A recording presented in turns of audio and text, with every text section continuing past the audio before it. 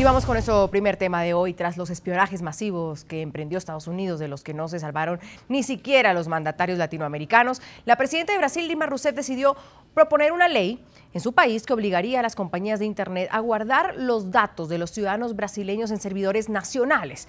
Esto eh, por supuesto, ha generado una serie de reacciones controversiales. Y la pregunta, si esta medida es realmente una solución para acabar con el espionaje. El gobierno de Brasil propone la creación de centros de datos nacionales de Internet. La iniciativa solicita que el almacenamiento de datos de personas físicas o jurídicas brasileñas por parte de los proveedores de aplicaciones de Internet sean guardadas en territorio nacional, salvo los previstos en la reglamentación. Además incluye los registros de acceso a las aplicaciones cibernéticas, así como también el contenido de las comunicaciones realizadas en territorio brasileño. La iniciativa surge a raíz del escándalo de espionaje llevado a cabo por la Agencia Estadounidense de Seguridad, NSA, hacia los brasileños, sus empresas, políticos del gobierno e inclusive hacia la misma presidenta Gilma Rousseff, que produjo la cancelación de la visita de la mandataria a Washington, donde se reuniría con su homólogo Barack Obama el pasado 23 de octubre. Pero ¿cómo están almacenados los datos de las grandes empresas y qué impacto traería esto tanto para la empresa como para Brasil? Pongamos un ejemplo, Google. El sistema de archivos Google, en inglés Google File System, es un sistema que soporta toda la infraestructura informática de procesamiento de información en la red y está ubicado en Lenoir, Carolina del Norte, en Estados Unidos. Esta infraestructura multimillonaria le permite a la compañía indexar 20 mil millones de páginas web diariamente, manejar más de 3 mil millones de búsquedas diarias, conducir millones de subastas de anuncios publicitarios en tiempo real y ofrecerles almacenamiento gratuito de correo electrónico a 425 millones de usuarios de Gmail. Si Brasil desea que la empresa traslade los datos hacia el país, debe instalar, comprar o adquirir la infraestructura necesaria para poder migrar toda la información de los usuarios a los servidores ubicados en el país suramericano. Las dos partes, tanto Brasil como Google, tendrían que negociar quién invierte en infraestructura, que serían millones de dólares. La situación compleja es quién administraría el sistema, ya que el gobierno del país debería tener una oficina que maneje de manera segura este tipo de información. Esta iniciativa, que será votada por el Congreso de Brasil los próximos días, ha generado una fuerte polémica. Mientras las grandes compañías de Internet aseguran que la creación de los centros de datos nacionales no ayudará a combatir el espionaje, el gobierno indica que es necesario para poder proteger a los usuarios y obtener información de personas que infrinjan la ley.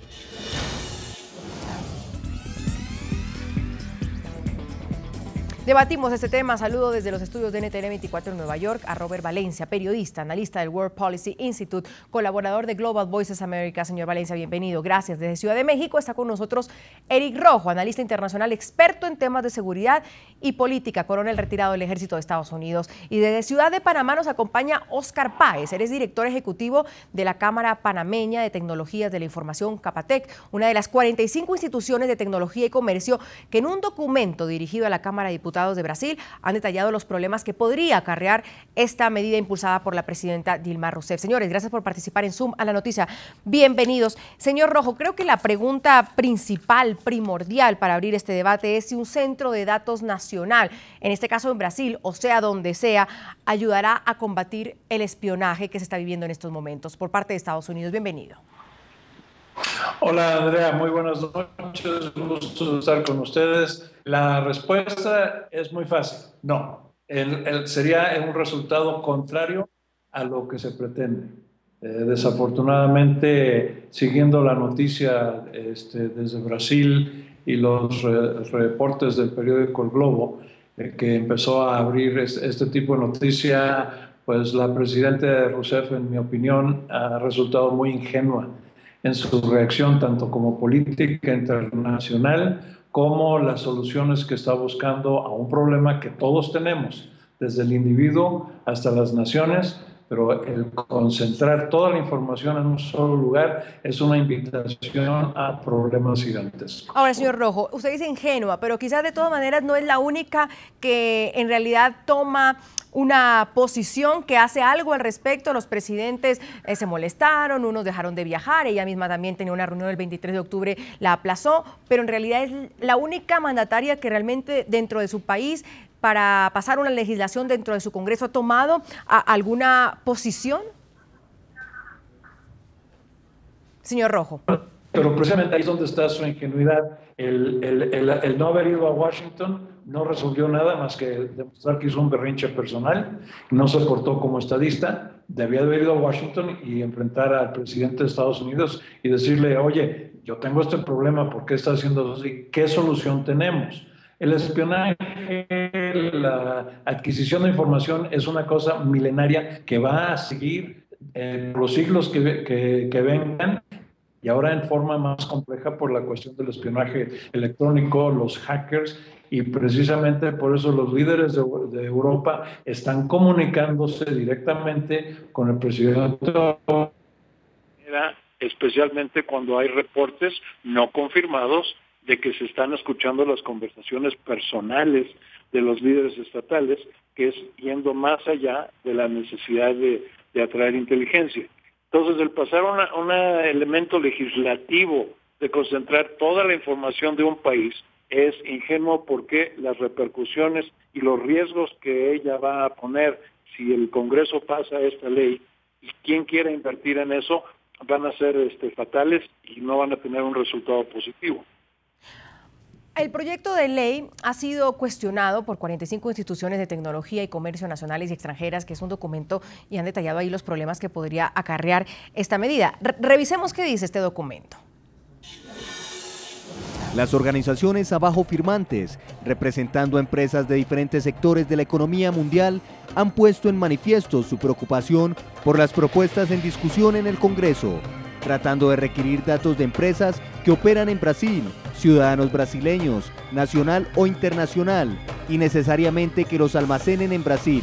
En vista del amplio impacto de los requisitos de almacenamiento de datos en la economía de Brasil, respetuosamente instamos al Congreso a considerar esta propuesta a fondo. Y tenemos en nuestro programa uno de los firmantes, los protagonistas, Oscar Páez, director ejecutivo de la Cámara Panameña de Tecnologías de Información, Capatec, licenciado en Administración de Empresas, Magister en Administración Comercial. Señor Páez, mil gracias por acompañarnos. ¿Cuáles son los efectos colaterales que esto puede ocasionar? Explíquenle a nuestra audiencia por qué ustedes son parte de esta carta firmante y por qué cuestionan eh, la propuesta de la presidenta brasilera. Nosotros somos firmantes de la carta, en primer lugar, por una consulta que hicimos con las empresas del sector y todas veían con desagrado el hecho de someternos a una legislación local que podría afectarlo sin saber por qué ni cómo los intereses de, de, las empresas que son afiliadas a la Cámara.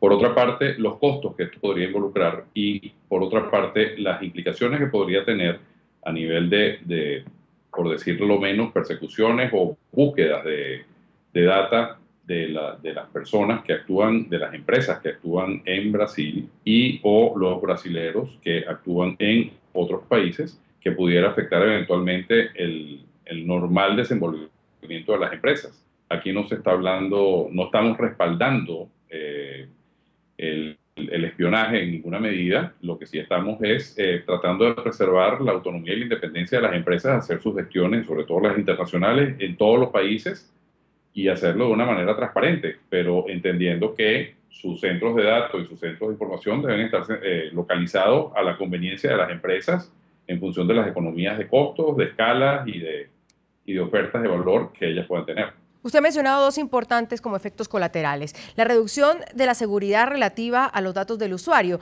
porque también como decía el señor Rojo, todos están almacenados en un mismo lugar. Yo hablaba con un experto en tecnología y decía, es como que uno tuviera todo el dinero de uno en su casa, pues los ladrones saben a dónde ir. Si los tiene eh, dispersos en el mundo o en diferentes lugares del mundo, pues no saben a dónde robarle o si le roban a uno, le roban solo una parte. Segundo, Aumento del costo del servicio, ya lo menciona usted. Y otra que me preocupa y quisiera también ampliarlo con usted, la pérdida de competitividad de las empresas, así como el perjuicio a los consumidores. ¿Qué significa el perjuicio a los consumidores, eh, señor Páez? Es decir, los brasileños en algún momento podrían verse entre la disyuntiva de no tener acceso, no sé, a Facebook, a Google, a Twitter, si estas empresas deciden no seguir esa línea. Bueno, eso por un lado, y la privación de beneficios que son más propios de, sociedades controladoras y, de alguna manera este, dictadas por un socialismo trasnochado que está lamentablemente emergiendo en la región.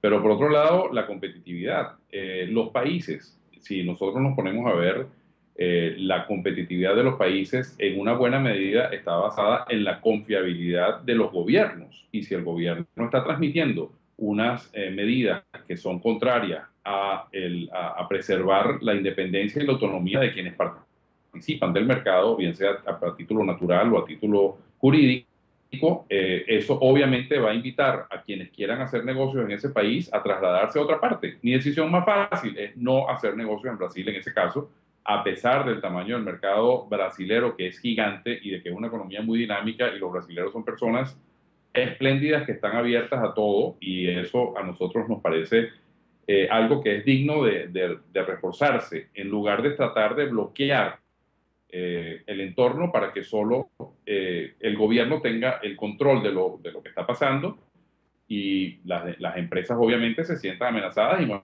bien prefieran irse a otros destinos porque las posibilidades no, no, faltan. Hay muchas, muchos países que están captando la atracción de, de, las grandes empresas y una de las medidas contrarias a lo que se está haciendo en Brasil es brindar libertad, brindar facilidades, brindar oportunidades para establecerse con las mayores garantías democráticas que se puedan ofrecer.